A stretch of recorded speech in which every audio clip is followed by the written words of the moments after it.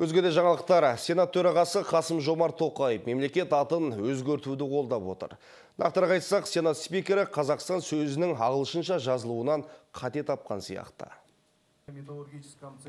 Қазір Қазақстан ағылшын тілінде кей әріп арқылы жазылып жүр. Қасым Жомарт Тоқаев Q арқылы жазу елдің ұлттық негізен дұрыс көрсетеді дейді. Мамандарда мемлекет атының Шекспир тілінде қате теріліп жүргенін айтып, Қ әрпінің баламасы Q деп дабыл қаққан.